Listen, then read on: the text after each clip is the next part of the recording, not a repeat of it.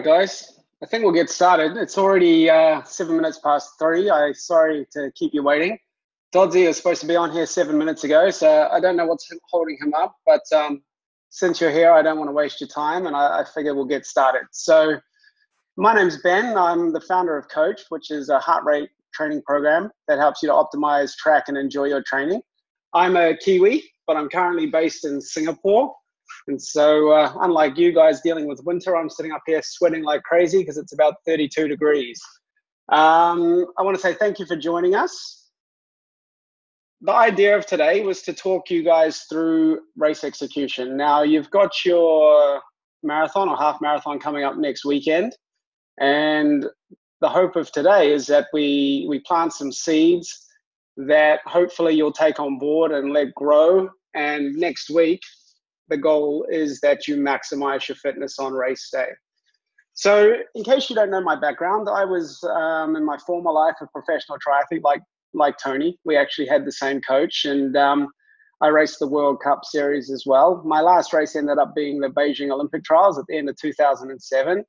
After which, I, I got a severe case of dengue fever, and um, that pretty much brought my racing career to an end. So I packed up, I moved to Singapore because I like the weather, and um, I started a fitness lab here. And so for the past 10 years, I've been operating a, a fitness lab where we do VO2 max testing, lactate testing, uh, a fat burning test, sweat testing, and that kind of thing. And um, as a result of doing an absolute bunch of testing, um, we have a lot of data and we've slowly refined our philosophy and our training programs out of that. So I've spent the last 10 years in the lab either testing or observing and um, refining our programs as we go along. So I don't want to talk too much about our programs. Um, what I will say is if you if you hang in there and you listen on, I'll offer you a code to, to give you a six week free trial of our program.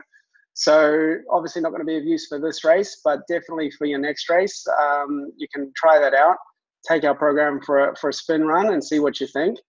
Um, we've had a lot of success here, uh, helping people qualify for Boston, run faster, stay injury free, whatever it is their their goal. And um, I'm pretty confident if you have the confidence to apply what we teach, because it's not always um, intuitive. Uh, there's a high chance you'll you'll have a good result. So, with that in mind, I talk to you today through that lens. I talk to you as someone who's done a hell of a lot of training in my past life and um, now someone more recently who has been a full-time professional coach for the last 10 years uh, working with thousands of people in singapore and around the world. Um, there's lots of ways to skin a cat. Our way is just one. Um, but i believe in it full-heartedly because we have the data to back it up and it's just very evidence driven now with your race so close there's not a whole lot we can help you with from a fitness point of view. Um, your fitness is hopefully good because you've spent the last few months training and doing your best to maximize that fitness. But if it's not, the goal is still to get the most out of the fitness that you have. And one of the very interesting observations that I learned early in my career and just watching athletes who had been in our lab was that fitness actually takes a, a backseat to execution on race day. Now, what what's been super interesting is that I've known people are fit because I, a lot of the time we'll test person, uh, people on a Monday or a Tuesday in our lab just to to check their fitness uh, before they go into the race and to refine their strategy if we need to. And I know that a person is fit because we do lactate testing and it, it shows us that. And what was happening a lot in the early days was race result was coming in and it wasn't matching the fitness that we were seeing. And that was a bit of a head scratcher for me. I hadn't really given race execution a whole lot of thought at that point. Um, the racing that I always did was very tactical, and I, I guess the execution part was just intuitive. So um, I had to sort of ask a lot of questions. I started diving into to the splits, and I started going to all the races here in Singapore and just watching how people um, were executing their race and, and doing um, using their pacing strategy and things like that. And it became very clear that the issues weren't in their fitness. The issue was in how they were applying the fitness on race day and how they were executing their race. Now, to give you a practical example of this, I, I was coaching a couple of Aussie guys. This is I don't know, five about five six years ago, and they're both pretty fit guys, both around a, a three hour marathon sort of fitness, and they were running the New York Marathon, and so they were in our lab. I think it was about a week before um, that race, and they are both in their late at the time. I think one guy was about 46, 47, the other guy would just turn 50. Um, both Australian, both fit guys, like I mentioned. And their lactate thresholds came in and they were very, very similar. The younger guy had a slightly better threshold. Um, and I thought he would run a good one to two minutes, maybe over the marathon faster than the, than the older guy. Um, I was very surprised when the results came in and they were very different. Now, the older guy had run just on three hours, like three hours and change. The younger guy, who should have theoretically gone a minute or two quicker, ran three hours 18. Now, that's a pretty big difference in timing, yet it had nothing to do with fitness. And that pretty much illustrates the whole idea that I'm trying to put across. Um, race day is about maximizing fitness, and you choose to execute well, or you choose to let ego get in the way and the other circumstances that play a role get in the way. And sometimes you don't maximize the fitness that you have. So turned out the the younger guy he had gone through the half marathon in a significantly faster time than the older guy. Uh, basically, he just started too fast. And as a result of that, he burned his fuel too fast. He fatigued his muscles too fast. He produced too much lactate and these types of things. And he couldn't sustain the pace and he slowed down quite dramatically on the back end. So that was a shame for him. Whereas if you look at the splits from the older guy, he had done everything perfectly, pretty much, older and wiser, I guess you could say. But he started conservatively, and gradually, as the race unfolded, he got faster and faster and faster, and he finished um, with a very subtle negative split. So that's what we want to do. And I want to be the little voice in your head next week telling you to be conservative. Now, on race day, there's a, a few circumstances that don't play to your favor. Um, ideally you've been doing some training, right? And for the past few weeks, because of the volume and, and, and just the, the sheer toughness of the work you've been doing, it's likely that you um, have been training on heavy legs and have never really felt too great. Now, ideally, you should have been tapering off and um, should be fresh. So on race day, it's the first time in, in ages that you've felt fresh. And as a result, it's likely that you're feeling pretty eager to go out and test that fitness. And so that's the first circumstance that makes racing a challenge. The second is that your body gets pumped full of adrenaline. So the atmosphere, the thousands of people around you, the music beating, all that kind of stuff um, raises adrenaline, raises heart rate, gets you excited, and that tends to, to cause you to run out harder than you should. Um, on top of that, it's likely that you're going to be surrounded by a whole bunch of other Muppets who also don't know what they're doing and they run out too fast. And so that gives you a false sense of how hard you're working and it suckers you into running a pace above what your current fitness is going to support for the length of the race. And um, obviously, none of that is ideal if you want to maximize your fitness.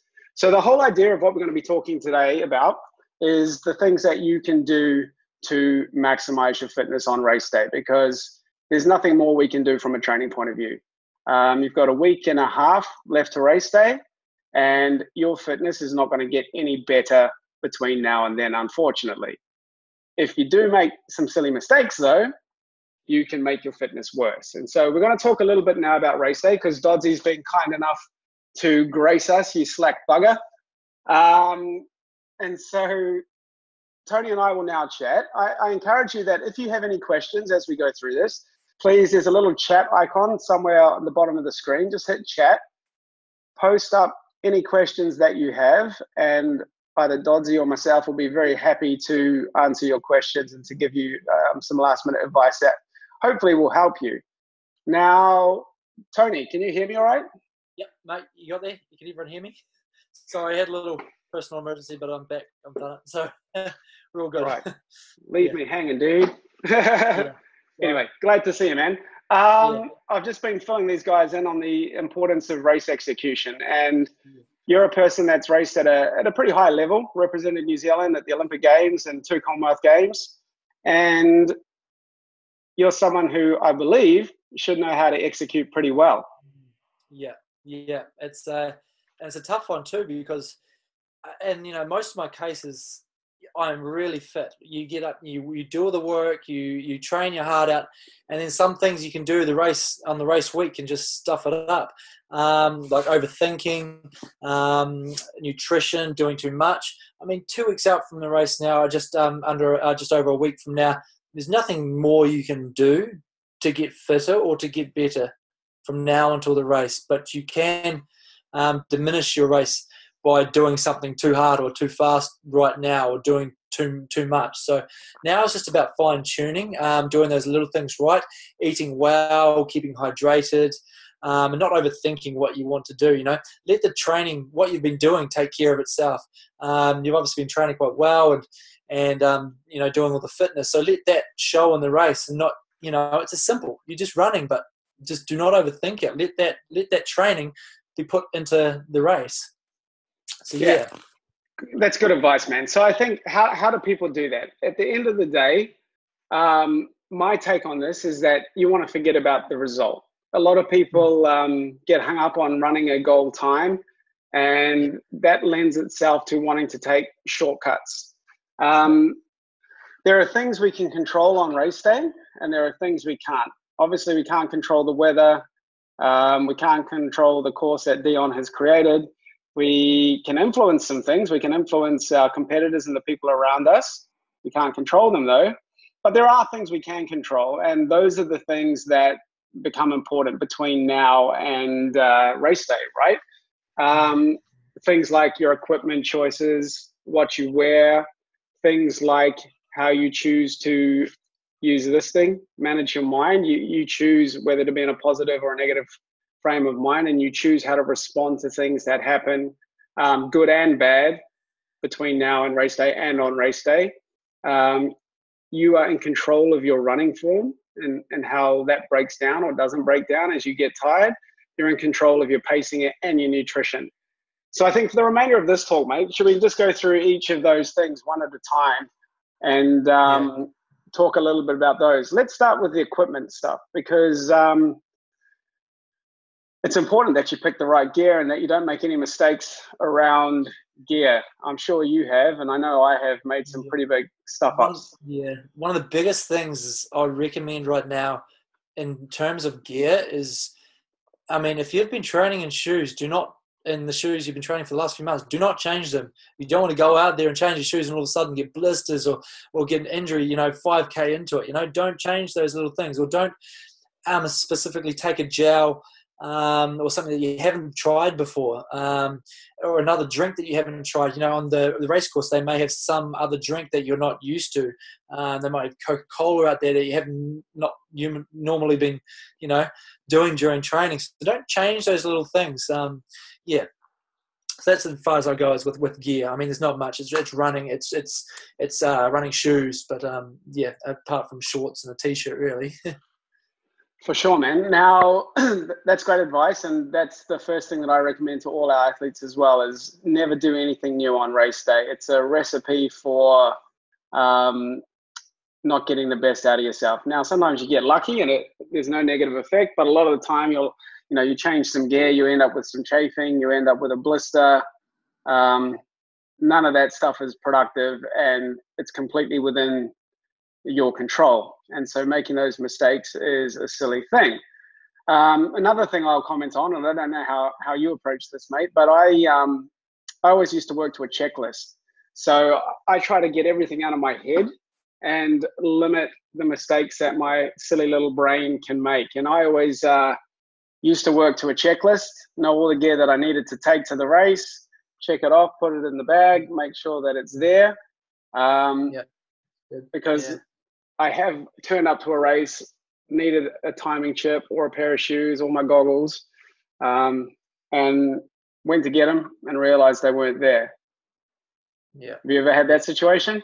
Yeah, yeah, and yeah, people always said to me, you know, use a checklist and that, um, but it takes the, the guessing out of it. Once you're there and you've got your checklist and you've got everything down, you don't need to worry about anything else. You've got it all, um, so that's you know that's good. Yeah, exactly. And I think you know part of race morning and and controlling the controllables is um, keeping stress down. Right, one of the worst things you can do for your race is forgetting something and then instantly that that pumps you full of adrenaline and cortisol and um, raises your heart rate and as soon as you raise your heart rate especially if it's if it's a bit you put yourself on the back foot right from the start and um, that's a real shame so I encourage everybody to work to a checklist. I've actually written a blog about why checklists are useful and um, even put one up on our blog. So do visit coached.fitness slash blog and scroll down and you'll see a, a blog there about checklists with a downloadable checklist that you can use. And I, I strongly encourage you to do it because um, you don't want to forget anything. Mm, yeah, exactly. Yeah. How's the weather there at the moment, out of curiosity? Um, well, I'm in Dunedin. it's cold. It's cold. um, All right. Not sure what um, not sure what Auckland's like. Um, I heard a different thing. Fresh too. Probably a little bit warmer than here. So, um, yeah, I'm still. Uh, yeah, I'm not sure what time it is going to be in the morning. It's probably going to be about 9 a.m. I'd say um, for the half or the full. Um, so it will be a little bit chillier. But yeah. you know, as the day goes on, it's going to get it's going to get warmer. So wear the appropriate wear the appropriate gear. Yeah, I think in, in, in my experience, um, it's always good to be warm to start with, and then mm-hmm. as you run, delayer. So you want to have on some old gear on top that you can either get rid of, or that you can take off and tie around your waist or something like that. Because there's nothing nothing worse than than feeling cold and miserable. Um, because more likely than not, yeah, wear like um uh, uh, tracksuit pants. I wear tracksuit um, jacket, even if it is hot. I always do it. I always wear it just so I can get my muscles warmed up before a race. My Achilles and calves are a little bit tight, and so I, I would wear like even now I still wear tracksuit pants when I'm running, like all through, even through spring, um, autumn. I only jump into my um, shorts uh, when it comes to when it comes to summer and probably gets over about 18 degrees. So um, that just keeps my muscles warm before a big event. So I would suggest just warming up in tracksuit pants, just so you can, or tights, just so you can get your muscles warm, and then yeah. Cool, man. All right, so that's equipment. The basic number one rule of equipment is don't try anything new. Mm. Yeah? Yeah. All right. So let's move on to mindset, mate. Tell us a little bit about how um, you try and control your mind and, and get in the right frame of mind so that you can oh. maximize your your race day? Because uh, I know you, you've had a struggle with this, right? Yeah, I think we're both probably the same when you were in, when we you were triathlon as well. Our minds just go crazy, you know, thinking of the what ifs. What if this happens? What if that happens? Am I good enough? Am I going to be good enough? Am I going to get a PB? Those are all the questions you want to know. Um, but only over the last, I've been doing it for, I was doing it for 13 years, but only the last two or three years, I mean, I had to start meditating to be able to calm my mind down. Um, but with one week to go, look, um, obviously, even checklists for this can be really good. Um, have I done everything I could to prepare for this race? Um, if I have, there's nothing to worry about. If I haven't, we can't do anything now. So, you know, you can't worry about that. But yeah, the mind is going to play a big part, especially with the, with with the week leading up. That's the biggest thing. Um, the things that I would do was just keep myself busy. I think outside of it, so I would have a, a routine um, the week leading up. I would make myself go do things, make myself go have a coffee, make myself go um, go out for lunch with a friend and talk about not triathlon or in this case maybe not running. Um, just keep yourself busy before that, you know, before the event. Even have a, like a little routine where you need to go through the day before so that you're not actually sitting around. The worst thing I I found was that sitting around was what made me more um, nervous and, and, and think a lot. So just keep yourself busy and um, um, yeah, if you can't control it, then there's no point worrying about it. For sure, man. I, I think um, you and me were in the same boat. Like, yeah, it's very easy to get inside your head. And uh, that's largely also because we had the time to sit around. I think a lot of the people that are listening to this will likely have a job and maybe some kids and some other things fighting for their attention. So it should be a little easier for them to hopefully stay positive and uh, just look forward to the experience. I think too, from a from a mindset point of view, the goal is um, on race day to try and stay positive. Now, it's not always, you know, shit happens, um, and it's not always possible possible to stay completely positive. But as a worst case, um, you at least want to be neutral, right? In my experience, performance goes down as soon as you start to think about how much you suck and how much oh, it hurts. Yeah. And so there's little tricks that you can do to um, train the mind. I, I think uh, one of the cool little things that I learned um, working with my mental conditioner was um, a thing called body checks. I don't know if you've ever tried this, Tony, but it's it's pretty effective, man. The the whole idea is to it's just to help trick the mind when things start to go wrong. So, for example, you guys have probably experienced this. You're running along, you start to get this annoying little blister on your little toe, and it's tiny and it doesn't really affect your ability or shouldn't affect your ability to run well. But the way the mind is structured, because it hurts, all your attention goes to your stupid little toe and you just start thinking about how much it hurts. And then you start to compensate. Um, and then other things start to hurt. And then you think, oh my gosh, this sucks. And uh, you, you draw yourself into this negative sort of potentially draw yourself into this negative frame of mind, um, which is obviously not productive and helping you keep moving forward. So a cool little trick that I learned was something called body checks, where um, if you find yourself in that situation, either with chafing somewhere or a blister or whatever, you divert the mind. So, say your little toe is getting a blister and it's painful, you go up and you go, How's my hair? Yeah, my hair's good. How's my right eyebrow? Yeah, my right eyebrow's good. How's my left eyebrow? And you just start to get very detailed on things that um, are at the opposite end of the body. Because what's interesting is your mind can only think about one thing at a time.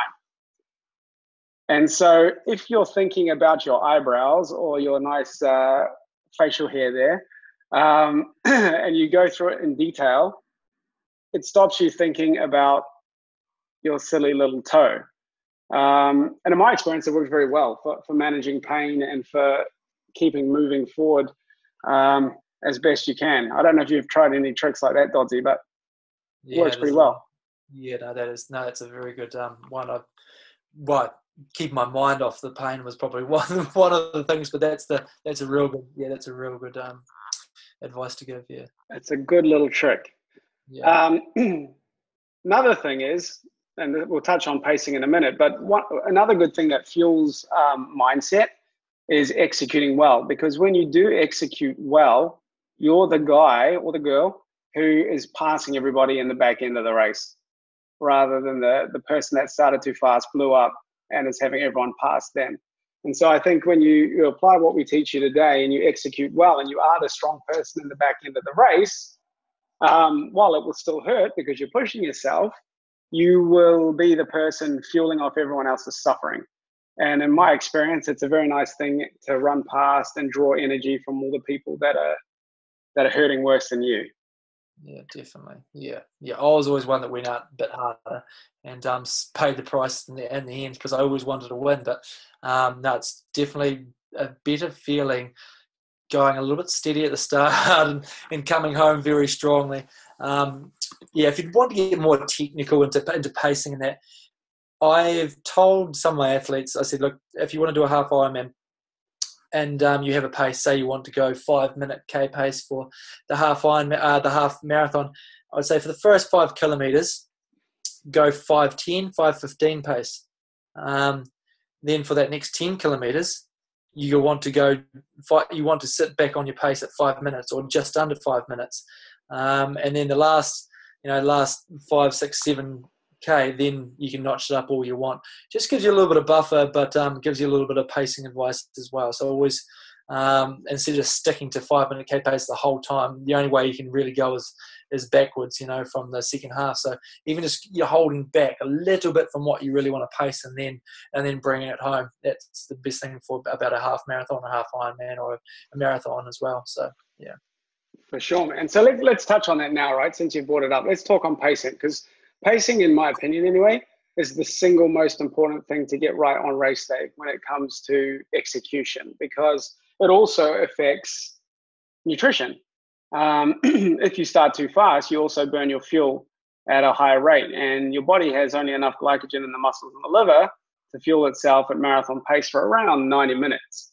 Um, if you burn that up even faster, then you become even more reliant on the gels and the sports drinks and stuff to, to get your energy.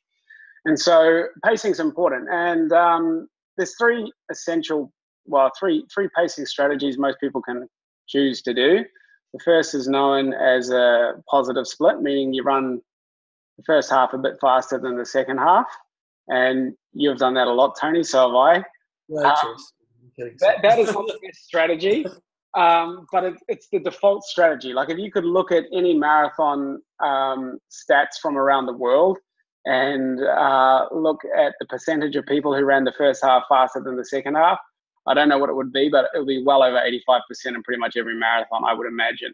Um, because we all have an ego. Um, because of those circumstances I mentioned earlier, we all start too fast. We all get tired. We all slow down.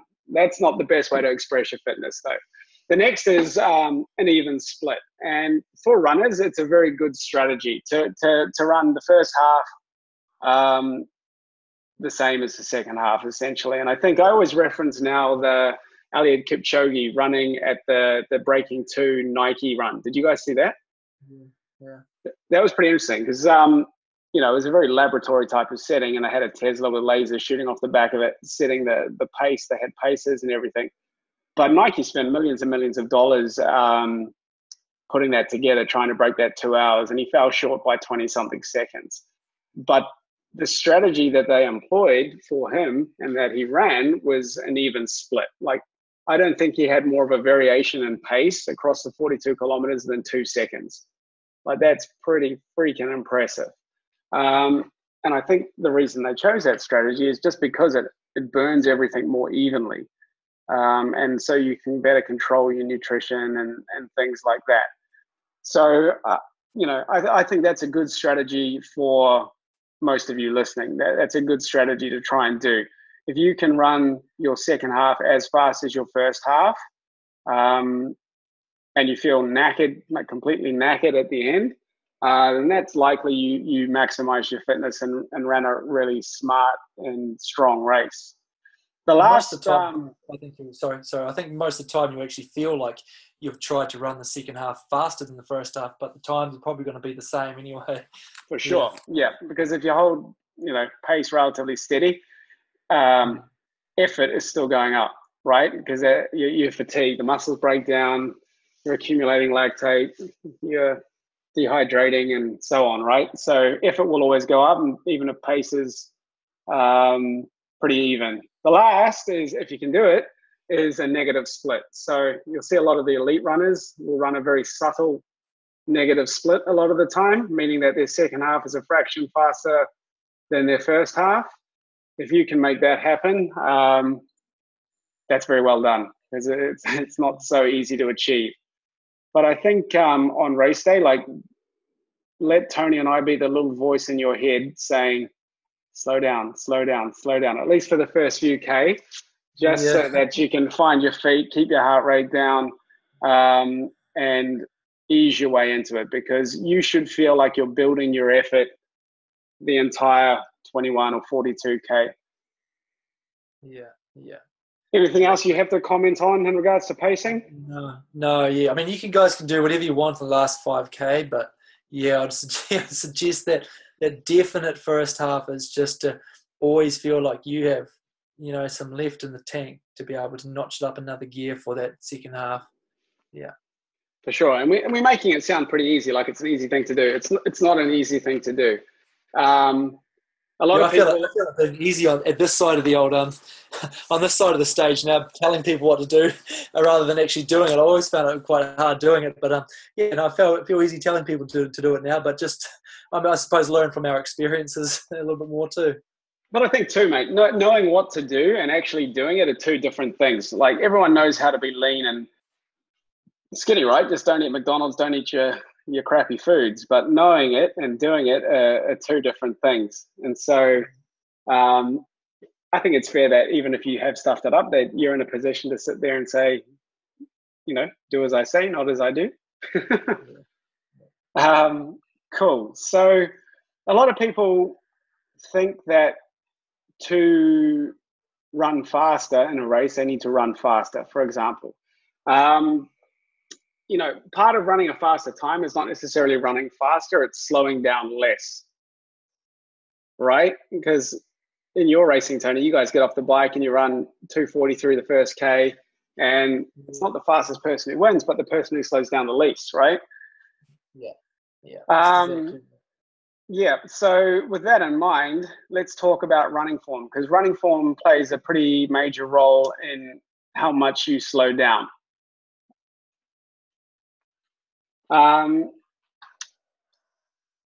ideally, when you run, you, you want to be relatively tall. You want to have your chin up, head up over the shoulders, shoulders over the hips, hips over the ankles. Nice tilt forward from the from the ankles, right? Um, and that allows you to maximize your stride length and to run pretty well. Now, you guys have probably experienced this, right? But as you fatigue, what do most people tend to do? Drop, the chin. Drop the chin. And having watched literally hundreds of races, um, it's very interesting seeing people at the back end of a marathon because the ones who are running well are typically have got their chin locked in. They're driving, you know, they look they look good, nice and tall. They're well postured. Um, the rest of them have got their chin down and they're hunched forward. And this is an issue because the head is very heavy, right? And when you drop your chin and the weight of your head starts to pull you forward, it shortens your hip flexors, shortens your stride length. And so as soon as your stride length is shortened, you are slower, right? Because if cadence is the same and stride length shortens, you're, you're slower. Um, and so one of the things that I've found um, through, you know, doing my own running races and things, but also through coaching people to do this is that keeping your head up and just being conscious of where your chin is um, helps to delay the rate at which you fatigue and your running form falls apart. And if you can do that, you will run a better time because you will slow down less. What sort of things were you thinking about when you used to race Dodsy from a form point um, of view? Yeah, when things when things got tough and I knew that I was losing form, um, I'd just go back to cues. Um, right, hips up, head up, um, not wobbling around too much and they were just simple, simple cues.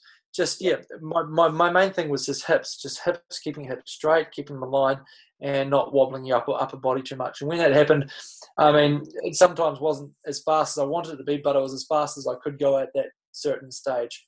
So yeah, have a little cues and and focus on those things when things start to get tired. Yeah, for sure, man. Also, too, another good thing that you know that I, I used to do too is like when you are tired and your legs feel like they weigh 100 kilos each, um, putting some focus on your arms and starting to be a bit more aggressive with your arm movement can help, right? Because it's, it's very hard to speed up your arm carriage and then not have your legs follow. So mm. that's not a sustainable strategy most of the time because eventually they'll tire out as well. But if you sometimes need a, a short burst or you want a change of rhythm, um, try bringing in your arms and being a little bit more aggressive with your arms and your legs will follow. All right, man. So let's touch on the last point that people can control on race day, and that is what they choose to fuel with their nutrition strategy. Um, you've always raced short course triathlon, so you probably haven't had to worry too much about what you take on board. Mm-hmm. Um, but when you run a marathon, you most definitely do. Tell us a little bit about how you used to fuel um, prior to a race and during a race. Me, well, yeah, this is very different because nutrition plays a massive part in um, half marathons, marathons, half Ironmans, um, Ironmans, etc. Um, so it didn't necessarily play a massive part. And if anyone knew Bevan Docherty, then you probably know that he was he was pretty bad with his nutrition. You know, um, even Chris Gemmell, you know, they just eat whatever because it was only a short race. But as the time's going on, more professional um, eating becomes a big part. Um, I always used to go for a, a bowl of porridge and some eggs on top for a bit of protein. Um, that used to be my that used to be my go-to, um, and fluids beforehand as well. But coming into a race, race morning, I think probably about 50% of my races I hated eating. Like I couldn't, I had to really force myself to eat. Um, so you may just have to do that. Um, just make sure that you're having something that you've always had before. Um, don't go out and change it. Don't go and you know have a big bacon and eggs and, and hash browns if you haven't you, are not usually having it. So keep it something simple, some um, you know some good protein fats, um, and something that you usually you usually have. But in this lead up, just remember to eat clean. Um, no massive, you know, deep fried fatty foods. Um, you don't need to lose weight either. You don't need to go on a big salad diet either, but just eat some whole foods. Uh, make sure it's clean and and yeah, make sure you get the fluids up. But you'll have a lot more um, um, better idea than me being about um, with with half half marathons and marathons. So yeah, I'll leave that one to you. All right, man. Well, again, nutrition is a is a it's a it's a hard thing because everyone has um, is, is made differently, and everyone has a different um, fat burning ability. Everybody has different um, food preferences or, or flavor preferences. Everybody has different sweat rates and um, sodium concentration of sweat, and these things all influence like theoretically how how you need to fuel. Right now, I'm in the camp of believing that if you can become fat adapted, that is a very good thing because you then um, you burn glycogen less or at a slower rate and uh, become less reliant on the, the sports drinks and the products. Um, I'm also a believer of splitting up um, calories and hydration. So, a traditional sports drink, your Gatorades, your Powerades, um, those types of drinks uh, are trying to address everything. They're trying to address energy uh, or calories, they're trying to address hydration. And um, there's not a whole lot of room for customization when you take that approach. Now, I like to, to, to, to split it into two camps hydration. And typically, I have our runners on um, water and salt supplementation for that. And that's very, very important in Singapore because it's just so damn hot and humid. But even in New Zealand, if I if I was going to run a marathon, I'd be on um, primarily water and salt supplementation. Yeah, and, um, Hallie, nutritionist, and she always told me just a pinch of salt. It's just a pinch of salt. Doesn't need too much. But yeah, always had me doing that with water. Yeah, it's pretty interesting actually, man. Like one of the latest tests we've got in our in our lab is now a, a sweat test, and it's um it determines how much um, salt you lose in in your sweat. And we've only had it a few months, but so far we've seen it vary from as, as little as sort of 400 milligrams per liter of sweat all the way up to over 2000 milligrams per liter of sweat. So that's a pretty big um, range. Um, and if you're a person who's losing like 2000 milligrams, um, you'd need to be on some pretty heavy um, sodium, sodium supplementation to uh, avoid cramping and, and, and dehydrating. So it's kind of interesting. But anyway, um, and if you guys want to check that stuff, by the way, there's a great um, a great calculator uh, on the Precision Hydration website. So I think it's precisionhydration.com. It's free. You just go online, um, plug in answers to their questions, and it would generate um, sort of a, a, hydration strategy for you.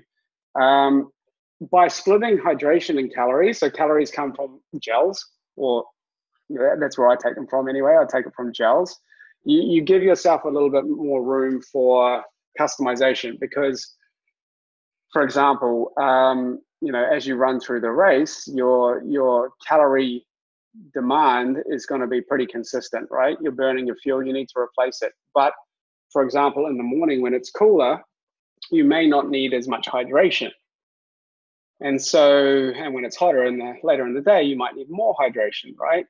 So when you split them, it allows you to to basically get what you need, but to do it in a way that doesn't leave you feeling bloated and potentially sick. Because if it's cool in the morning, um, you're still going to need a certain amount of calories. But if you have to drink a lot to get those calories, then you're filling your tummy up um, with liquid that potentially you don't need. And so, in my experience working with the athletes um, who I work closely with here, and, and by splitting the calories and the hydration, uh, we've been able to, to really dial in a, a, nutritional strategy that is working really well and that they, they don't feel bloated, they don't need to pee, they, you know, aren't getting cramp and these types of things. So it's definitely a, a work in progress. Um, but again, nutrition is one of these things that we have complete control over. And just like equipment, um, the number one rule is is don't use anything new on race day, because I've seen so many times where people have had a sports drink that they're not familiar with and ended up with stitch or cramping or whatever, and it's just a real shame. Yeah. Especially if you have been training hard and you, you let something as silly as this um, ruin it. Yeah, yeah, definitely. Yeah. Cool, man. So I think um, that gives everyone a pretty good idea of what they need to do. Um, if, if you have any questions, please post them in now because we're going to wrap this up pretty shortly. Um, if not, I want to thank you for joining us. And thank you too, Tony, for showing up. Um, yes, as, as, I mentioned at the beginning, right? If you guys are interested in, in trying out the Coached program after you get through next weekend, um, use code DODSY, D O D D S Y, when signing up. And instead of a two week free trial, you get a six week free trial. So that should give you a good, um, nice structured program, give you access to Tony and myself to answer all your questions and to, to get you training in a way that we believe will improve your performance, but do so in a way that's healthy and um, sustainable. So yeah, I know how hard it is for like you know, just talking with people like Kiwis, especially, we are we do. this is what we're trying to get across to, to New Zealanders to be able to train, um, you know, to enjoy the training, to be able to train by heart rate, and to go easier during training, to be able to go faster in racing. And still, Kiwis not quite getting that. You know, we want to go out and we want to smash ourselves because it feels good.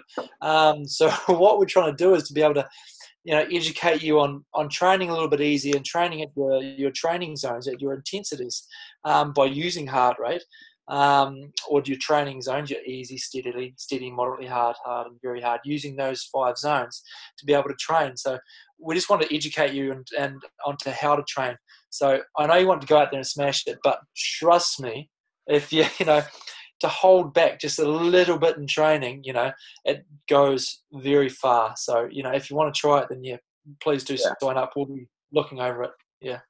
For sure. It's a, it's a very counterintuitive thing to think that if you slow down in training, you'll race faster. But given the way it works and being that a marathon is primarily an aerobic sport, around 99% of the energy is coming from your aerobic system, making sure that that system is strong is damn important. And the goal is not to run faster by pushing harder because that has a, a, a limited um, capacity.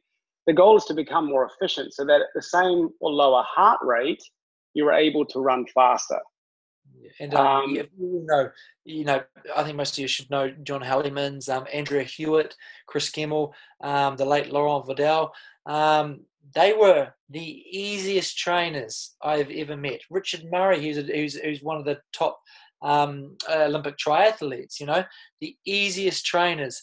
But when they wanted to go fast, they could go really fast. And I mean, they didn't show it in training, but by geez, once it come to racing, you know, they were really fast. So they all trained easy. Um, Arthur Lydiard, you know, they were all very training easy as well, long mileage, of course. But yeah, uh, for sure, man, because the whole idea is like when you, and I'm a good example of this, mate, because back when I was fit, like you, training full time, in zone, at my zone one ceiling, I could run at low four minutes per K, like four, 415 to 430, depending on weather and how tired I was and whatnot. Um, fast forward 10 years now, and I'm, I'm no longer in that situation. I got a pretty busy job and two twins and, you know, like lots going on. And at the same heart rate, I'm still the same dude. I can only run it like, unfortunately, about 540 per K. now, the, the effort hasn't changed. It's just that because I'm no longer as aerobically fit, I can't produce the same output. And so, if my goal was to go and run a fast marathon again, I wouldn't be going down to the track and smacking myself with a whole bunch of intervals. I'd be going out and running a lot of easy hills to lay down that foundation to build some strength. And that 540 pace at my easy heart rate would become 530. 520, 510, five minutes. And after a year, I'd be back down, I don't know, in the fours. Um, so that's the goal. The goal is to not push harder to achieve more pace, but to become more efficient so that at the same or lower heart rate, you run faster. And I think that that's an important lesson that everyone down in New Zealand needs to learn. And that's how I spend a good chunk of my time up here in Singapore because all runners, for the most part, um, have a very hard time getting their head around that and getting their ego under control. Oh yeah, that's a hard one. so if you are interested in learning more about our philosophies and how we do this, Dodsy and I get together a blog every second Tuesday and we post it up. The one coming out next Tuesday is about mileage. It's titled Why Mileage is Important, but Not That Important. Um, our last blog last Tuesday was um, a blog called Consistency is the Ultimate Performance Enhancer. And I encourage you guys to, to read these. We put a lot of um, thought into these, and they're usually the result of common questions we're asked. And like I said, our, our approach is very much an evidence based approach. Having worked with, like, we've literally done thousands of lactate tests, thousands of metabolic tests, um, been to hundreds of races, and cross checked everything and tested everything and before and afters. And we're pretty confident that we've put together a program that is sound and will work for most people most of the time. And we're not cocky enough to say that it will work for everybody, but we will try hard to um, make changes and to, to tweak things for the people that are outliers and maybe it doesn't work for first go through.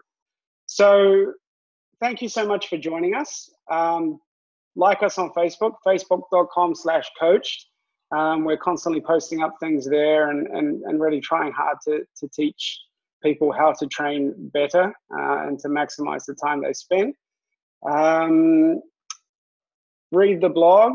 If you are keen on trying the program, coached.fitness. Um, we have a running and a triathlon program. Use Dodsy when signing up, and you will get six weeks of free trial. Um, and I wish you all the best for, for next weekend's race. I hope it goes awesome. And I hope you'll let us know how it goes. Just drop an email hello at coached.fitness. Let us know how it goes. Um, we'll be very eager to hear. And just remember the takeaway from today's talk is control what you can control. All right, that's your mindset, your equipment, your pacing, your running form, and your nutrition. If you think about those things and you, you really do your best to, to execute those well, you'll maximize your fitness, you'll have a good experience, you'll have a good outcome, and hopefully you'll recover faster and be keen to get started on your next challenge, whatever that might be. Yeah, yeah definitely. Yeah, you, and even in, in, the next week, um, I know things start to get a little bit more emotional, or things start to come up, and you need to ask some quick questions on what to do or how to um, how to do something different. Just email us um, and hello, we'll coach. Fitness. Hello at coach. Yeah. Awesome stuff, guys. Hey, thanks for joining us. We're going to wrap it up and um, have an awesome race. We'll see you soon.